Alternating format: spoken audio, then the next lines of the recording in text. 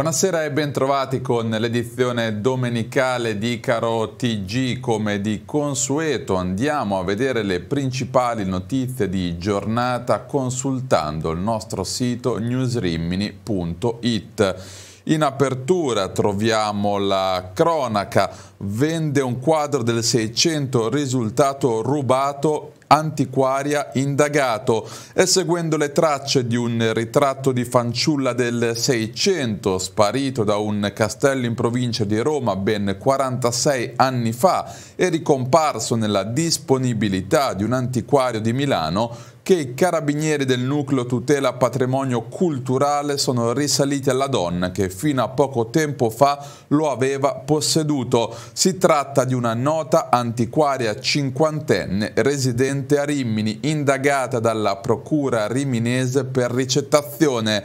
La vicenda ebbe inizio nella notte tra il 29 e il 30 maggio del 1978, quando il quadro fu rubato all'interno del castello del marchese Innocenzo Patrizi Montoro di Castelgiuliano in Bracciano, Roma. All'interno del castello della casata che stando alle Siusa il sistema informativo della soprintendenza archivistica risale al 1750 fu rubato il dipinto tondo olio su tavola di 53 centimetri raffigurante il ritratto di fanciulla attribuito a Romanelli, detto il Raffaellino. Sulla provenienza di quel dipinto l'anno scorso ha chiesto un accertamento ai carabinieri per la tutela del patrimonio culturale di Ancona e poi di Roma un antiquario di Milano che lo aveva appena acquistato a Rimini.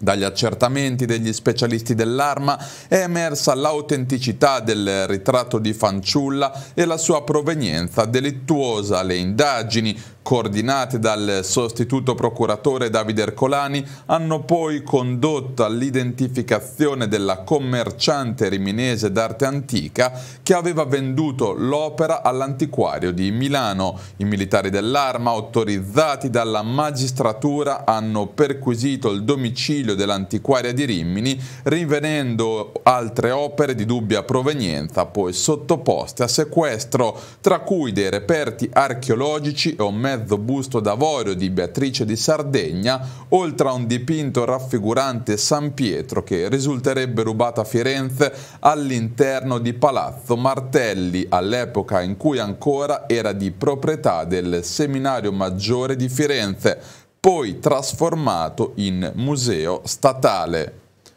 Torniamo ora sul nostro sito, andiamo a leggere l'altra notizia di cronaca auto data alle fiamme nella notte, indagini in corso dei carabinieri. È doloso l'incendio che nella notte ha distrutto una Kia Rio parcheggiata in strada Sant'Arcangelo. Ignoti hanno appiccato il fuoco alla vettura intorno a mezzanotte 40. In via Mendola sono intervenuti i vigili del fuoco che hanno domato le fiamme, concluso l'intervento dopo circa un'ora. Dei primi accertamenti è emersa subito la natura dolosa del rogo. La vettura appartenente ad una donna sant'arcangiolese di mezza età incensurata che abita in zona potrebbe essere stato oggetto, secondo una prima ipotesi, di un pesante atto vandalico. Sull'accaduto indagano i carabinieri di Rimini dopo che nella notte una pattuglia del radiomobile si è recata in via Mendola per i primi rilievi. Lo scorso 21 gennaio, sempre in via Mendola, uno scarabeo aveva preso fuoco nel seminterrato di un'abitazione. Dubbi in quel caso sulla natura dell'incendio. Torniamo sempre sul nostro sito perché in piazza Cavour c'è stato un presidio per dire no ai grandi eventi sulla spiaggia libera dei Fratini. Il presidio promosso da Monumento Vivi Rimini ha visto la partecipazione ieri di decine e decine di persone che hanno sostenuto il diritto alla spiaggia libera come habitat naturale e bene comune. Le diverse anime ecologiste regionali e nazionali presenti ieri hanno espresso espresso il profondo dissenso nei confronti di scelte politiche che non tengono realmente conto della tutela della natura, oltre alla profonda necessità di una visione di spiaggia che non sia soltanto mera risorsa da sfruttare economicamente nell'interesse di pochi, dicono, in una città in cui la percentuale di spiaggia libera è davvero risibile, abbiamo tutto il diritto di esigere che almeno questo fazzoletto dove nidificano i fratini venga preservato da logiche di sfruttamento commerciale e manifestazione a violento impatto ambientale. Poi gli ecologisti chiedono al comune che la loro richiesta sia presa seriamente in esame e chiedono anche maggiori controlli da parte della Capitaneria e dei Carabinieri Forestali.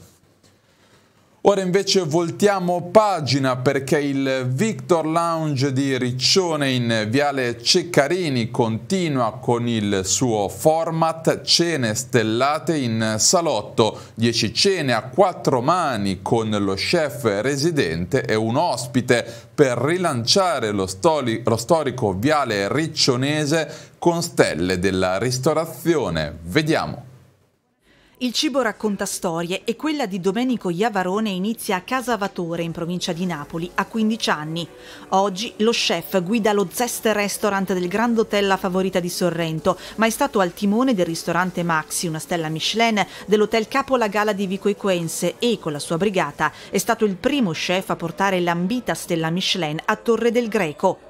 La sua proposta è ispirata alla valorizzazione creativa delle cosiddette materie prime povere è la più grande ricchezza che abbiamo in Italia perché le materie prime di grandi qualità sono assolutamente povere perché nascono dalla natura di quella che è la stagionalità contadina che poi sta a noi farle diventare ricche. Al Victor di Riccione ha ritrovato il compagno di viaggio che per sei anni è stato suo collaboratore, Fernando Squitieri, chef padroni di casa al locale storico di Viale Ceccarini. Dal carciofo ripieno di manzo, provola, tartufo e pancetta croccante, al risotto con limoni, scampi e liquirizia, al pre-dessert di limone sorrentino, un omaggio alla loro terra e all'amicizia che li lega. Siamo praticamente cresciuti insieme. Io ho nei suoi confronti un grandissimo senso di gratitudine per gli anni che è stato con me non ho potuto che fare altro che portare una serie di piatti che fanno parte del sole di, della bella Sorrento da cui oggi vengo. Non solo passione e creatività, ultimamente il mondo delle cucine di un certo livello è al centro di polemiche per alcuni episodi al limite della sopportazione dello stress lavorativo. È difficile nel momento in cui il lavoro ti diventa pesante, ma se tu vivi il lavoro come se fosse, tra virgolette, un gioco, perché noi siamo abituati a giocare, nel senso che guardiamo il lavoro quotidianamente con gli occhi di un bambino che non perde mai l'entusiasmo di far sì che la gente che frequenta il ristorante stia bene. Il patron del Victor Lounge con questi eventi ha in mente un rilancio anche internazionale del viale più famoso di Riccione. Io penso che la storia va sempre riscritta, se no rimaniamo un museo. Posso dire che abbiamo 10 chef, di cui 3 con una stella, 5 con 2 stelle e gran finale 2 con 3 stelle e che poi ci porteranno un'evoluzione di portare anche in un futuro prossimo dei chef di fama internazionale, quindi chef inglesi con 3 stelle, vabbè, altre, altre idee, non posso dire tutto adesso. Qual è il suo piatto preferito? Non ne ho, ti dico la verità, ho solo una, un bagaglio di eh, tantissimi ingredienti che partono dal Piemonte e arrivano in Sardegna che a me piace mangiare. Ultima puntata ieri sera del nostro programma Challengiamo, una sfida tra città dove ogni comunità porta in gioco i propri talenti. A spuntarla è stato il team Riccione Parrocchie. Vediamo i momenti più divertenti della serata conclusiva. Ed eccoci, ed eccoci qua per questa questo gran finale di Challengiamo. In studio con noi il Bellaria Igea Marina. E invece qui alla mia destra erano nell'ultima semifinale, proprio l'ultimo giovedì, il Riccione.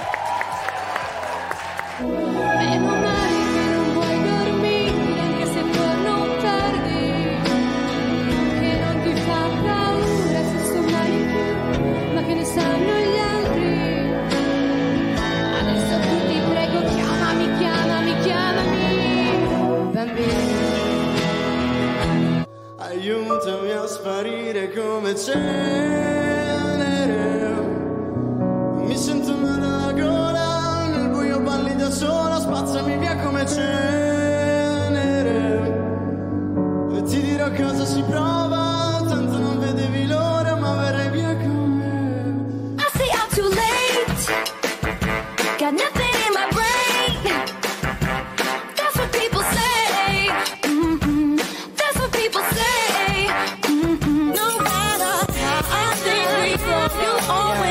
To let me know it ain't working. It ain't working. It ain't working. It ain't working.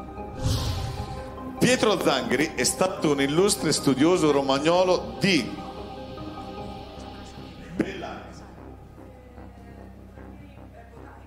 Vediamo un po' al microfono. Botanica. Botanico. No.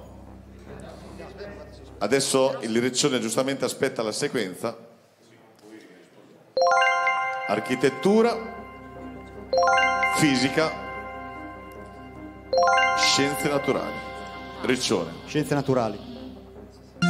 Scienze naturali. Anche qui per pochissimi voti, posso dire ben 12 di differenza, solamente 12 voti di differenza. La gara, la finale, se la porta a casa il... Oh, il Riccione! Per soli 12 punti ragazzi.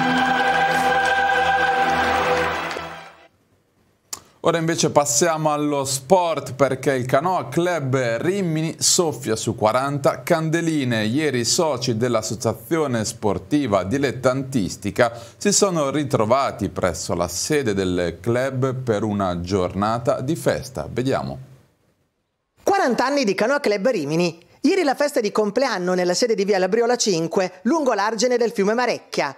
Dal 12 marzo del 1984 il Canoa Club Rimini ne ha fatta di strada. Dall'affiliazione nell'88 alla Federazione Italiana Canoa Kayak all'organizzazione di corsi divulgativi per l'avviamento alla canoa e di perfezionamento, tenuti fino al 2016 al lago Santarini a San Martino di Mulini, ma anche in altri laghi, in fiumi e al mare all'organizzazione dal 90 della Rimini in Voga, conosciuta e apprezzata in tutta Italia e di altre manifestazioni come la regata di fondo valida come campionato regionale Emilia-Romagna e la Paddling Challenge. Nasce da un gruppo di ragazzi eh, con la passione della canoa eh, in un garage là in via Parmense si sono messi e hanno organizzato questa società, hanno fondato questa società. Il club in questi 40 anni è cresciuto molto, adesso abbiamo una sede nostra, eh, tanti soci, anche molte donne si sono iscritte iscritti fanno canoa e questo è quel che riguarda il turismo. Eh, abbiamo anche, anche una squadra agonistica che oggi purtroppo non è presente perché è a Sabaudia per fare delle gare di velocità e abbiamo un gruppo anche fluviale. Noi eh, già da diversi anni facciamo i nostri bei corsi al mare per l'avviamento della canoa e anche per chi vuole specializzarsi tipo per andare nel fiume, queste cose qui, corsi specifici per l'attività fluviale e stiamo collaborando ultimamente proficuamente con tre istituti, l'Istituto Dante che è una scuola media eh, qui di Rimini, il Valturio e da quest'anno anche il Serpieri. Facciamo attività con le scuole, andiamo in classe, ci incontriamo con i ragazzi, gli spieghiamo l'attività teorica e poi ci si vede presso nostro, la, la, nostra altra sede al mare, al bagno 15 di Viserba, dove lì gli facciamo fare praticamente lezioni di pratiche.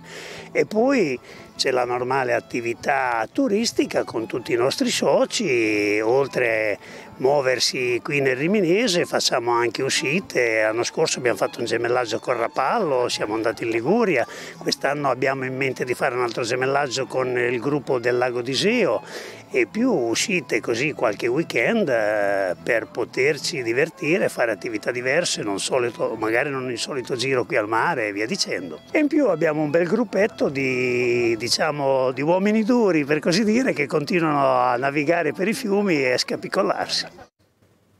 In chiusura invece torniamo sul nostro sito newsrimini.it, dal mare all'entroterra le fogheracce in provincia di Rimini.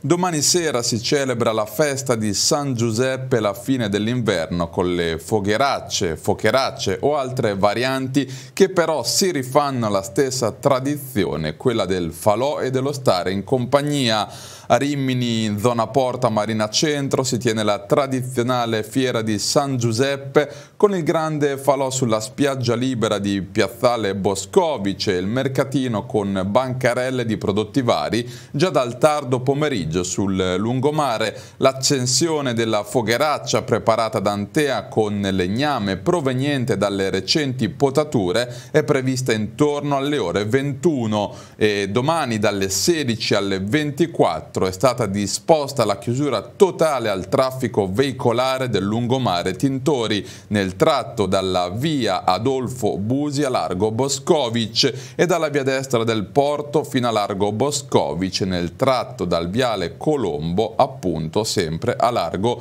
Boscovic. Altre fogheracce anche a Viserba, Viserbella e Torre Pedrera un'altra anche a San Giuliano Mare e Riccione, anche a Sant'Arcangelo ce ne sarà una, ovviamente a Cattolica e a San Giovanni in Marignano. Potrete trovare il programma completo da consultare sul nostro sito newsrimini.it.